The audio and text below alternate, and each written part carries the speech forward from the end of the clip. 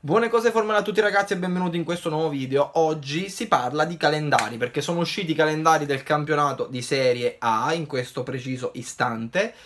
Finalmente sappiamo quando incontreremo i nostri avversari. Prima giornata Crotone-Milan. Allora, sarà una partita secondo me un po' particolare perché il Crotone è una squadra che sta cambiando molto. Ha perso Falcinelli che era il suo bomber, ha comprato Budimir al posto suo da vedere, insomma, secondo me è una squadra che ancora nel mercato deve fare tanto, deve fare tanto, quindi è difficile esprimere un giudizio, ma in qualunque caso credo che comunque che sulla carta il Milan debba andare a Crotone con il chiaro intento di prendersi i tre punti, cioè anche in maniera abbastanza agevole.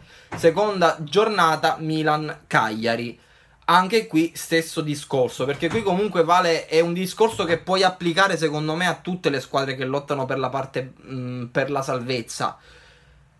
Queste squadre abi- a- a- hanno l'abitudine, un po' come il nostro Condor, il Fu Condor, di fare il mercato durante le ultime giornate. Quindi c'è la possibilità, neanche tanto remota, che il Milan si ritrovi ad affrontare due squadre incomplete o comunque con ancora dei pezzi da mettere nel puzzle. Quindi ragazzi c'è poco, c'è, c'è poco, da dire, sono due squadre tra l'altro che si conoscono già, non sono delle neopromosse, quindi non, non c'è la, il fattore to, una neopromossa che fa, lo, che fa lo sgambetto. Il Milan deve uscire con, deve, proprio obbligato a uscire con 6 punti da queste prime due gare, non ce n'è. Già alla terza però cominciano i guai perché andiamo all'Olimpico contro la Lazio anche lì la Lazio, anche, anch'essa diciamo è, un, è un, ancora un cantiere perché non si sa che fine farà Keita, non si sa come, come lo sostituiranno se dovesse andare via e secondo me andrà via. Quindi insomma è da vedere un po' anche lì.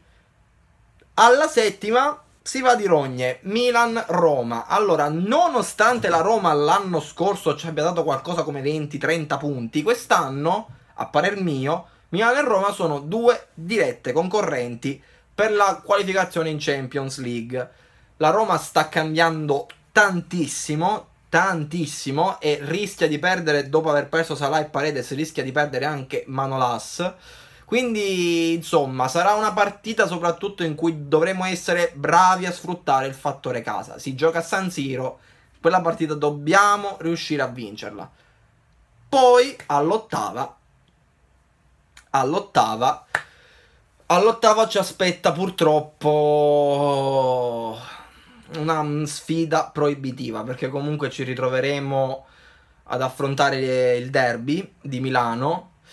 E insomma dell'Inter che ha preso Nainggolan, dell'Inter che ha preso Vidal, che ha preso Di Maria, Pastore, insomma mh, mm, una squadra come la nostra che non ha grande che non, che non ha grandi disponibilità e, economiche per il mercato che si ritrova ad affrontare una potenza del genere capisco che, che poi arriverà anche Messi a breve oltretutto quindi insomma per me all'ottava sarà complicato molto complicato prepariamoci veramente a prenderle in maniera amara all'undicesima giornata Milan-Juve. Tra l'altro che cioè, è, è, nello stesso periodo cioè, del Milan-Juve dell'anno scorso, quello di Locatelli. Cioè, più o meno, forse addirittura lo stesso giorno. Cioè, non, non vorrei dire minchiate, però, cioè, sa che siamo lì.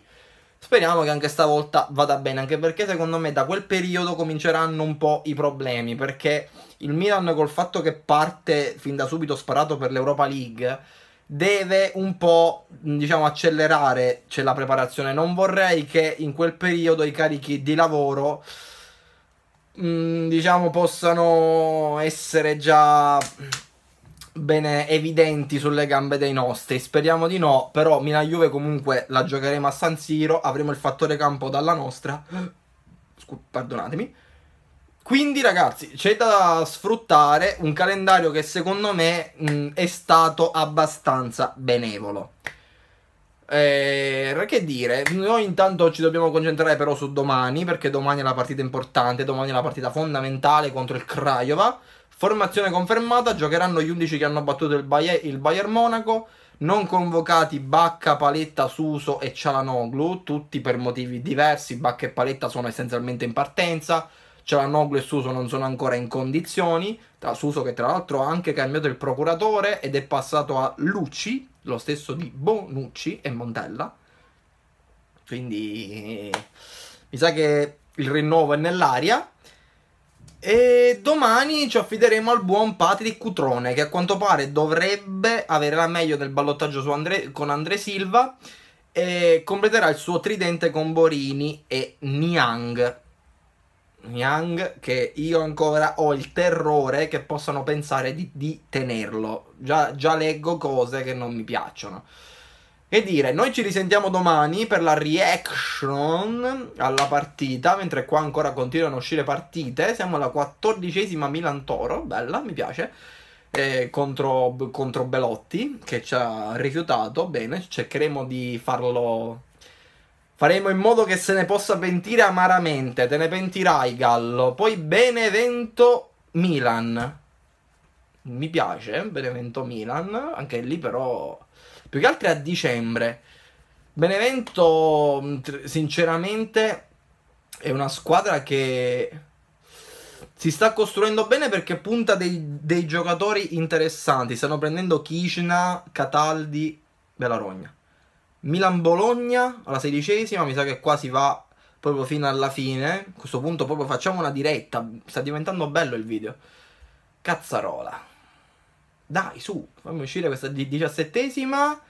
Ellas Verona Milan alla diciassettesima, quindi qua entriamo sul finire del campionato. Quindi Ellas Verona Milan il 17 dicembre l'andata, 6 maggio il ritorno. E adesso dovrebbero mancare i due turni finali che sono quelli natalizi. Eh, ragazzi miei, sarà una stagione lunga, abbastanza lunga, abbastanza rognosa. Ma noi finalmente possiamo tornare a fare la voce grossa. Abbiamo le possibilità, se remiamo tutti dalla stessa parte, se la squadra è coesa, possiamo fare grandi cose. Quindi avanti così. Questo video finisce qui ragazzi, noi ci vediamo domani per la reaction, spero di, ri di riuscire a caricarla domani stesso perché purtroppo per ora ho una connessione che va più lenta di Tiago Motta e Montolivo messi insieme. Mm, spero, spero con tutto il cuore di, di, riuscire a caricare la reaction già domani. In tal caso, al massimo, dopo domani mattina arriverà il video su Università di Craiova, Milan. Ci vediamo ad un prossimo video.